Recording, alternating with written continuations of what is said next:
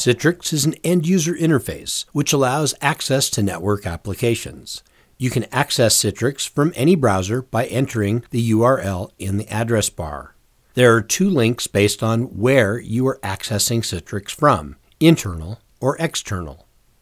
You may also access Citrix from the PortMed Citrix receiver or Citrix Medical Practices icon shortcut on your desktop. When the page loads, enter your username and password. Be sure to change the domain to PortMed, then click Log On.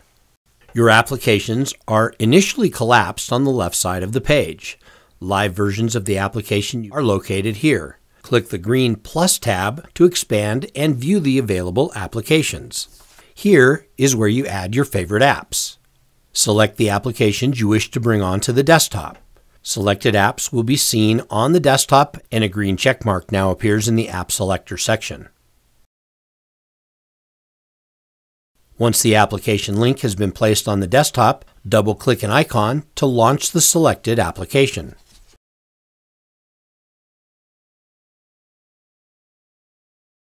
If you would like to launch the PMC desktop, click the desktop link from the bottom section of the page.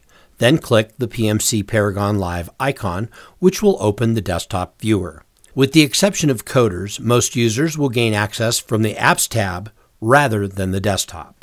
The desktop viewer will look familiar, and links to applications are also located here.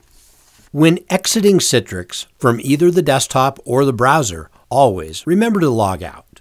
For questions or assistance, please call the help desk at 239 1125 or call the Physician's Helpline at 239 1342.